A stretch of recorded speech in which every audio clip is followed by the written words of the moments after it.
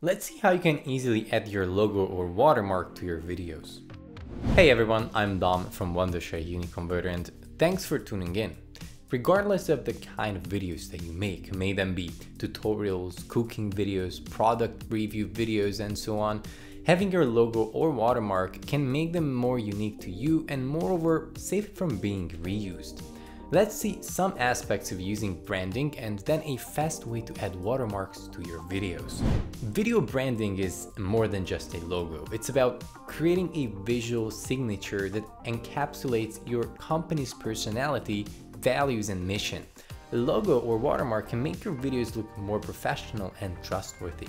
Your brand's visual identity is its first impression. A well-crafted logo instantly communicates your brand's essence and builds a connection with your audience. Consistency is the cornerstone of effective branding.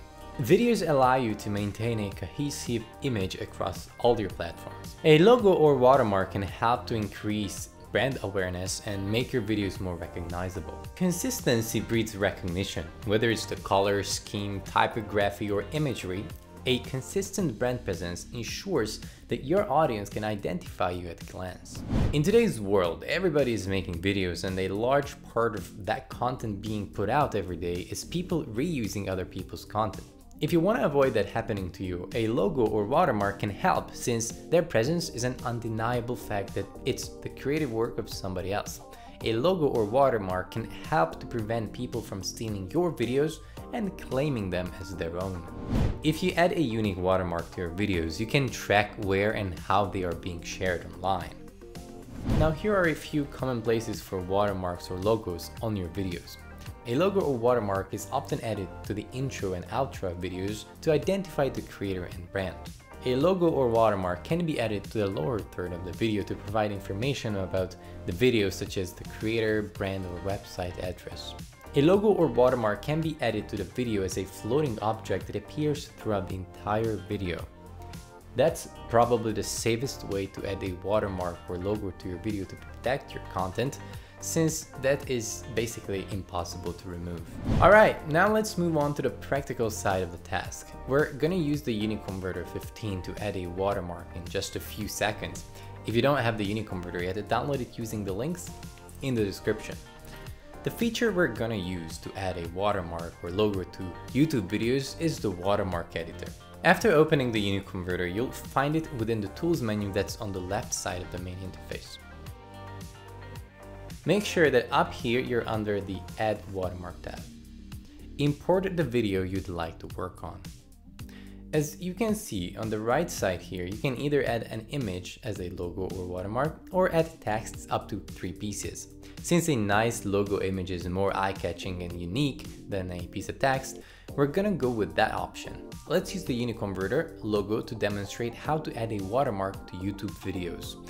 Here you can set the transparency of the watermark or logo. If you choose the dynamic watermark option, the logo will be moving across the screen, making it impossible to remove without leaving a trace. If you remember a few seconds ago when we talked about where you can place your watermark or logo, when I said a floating watermark, this is what I meant. You can choose the part of the video where the logo will be moving as well as its speed. Now, if you have multiple videos on your playlist, you can apply this to all to have the same watermark on all of the videos. When you're done, choose an output folder and then click on add watermark to finish it up.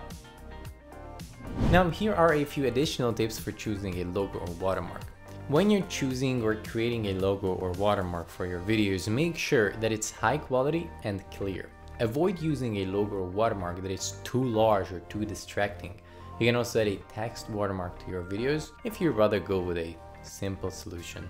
This can be a good way to include your website address or social media handles. If you're using a free video editor, you may have limited options for adding a logo or watermark. In that case, you may want to consider using a paid video editor or pay for extra features for the software. And basically that is it, a very easy way to put watermarks or logos on videos. If you found this video helpful, make sure that you leave a like and subscribe to the channel for even more content to come. Thank you for watching and I'm going to see you in the next video.